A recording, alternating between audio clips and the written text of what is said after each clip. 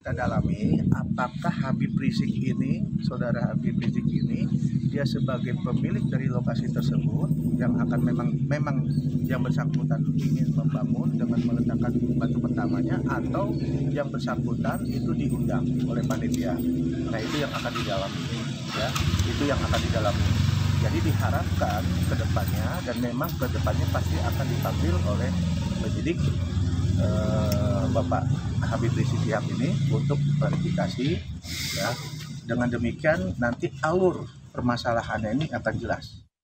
Saya akan memberi sanksi juga kepada Kabupaten Bogor dan Kabupaten Bogor saya minta juga memberikan sanksi yang juga tegas kepada panitia karena membawa banyak dampak.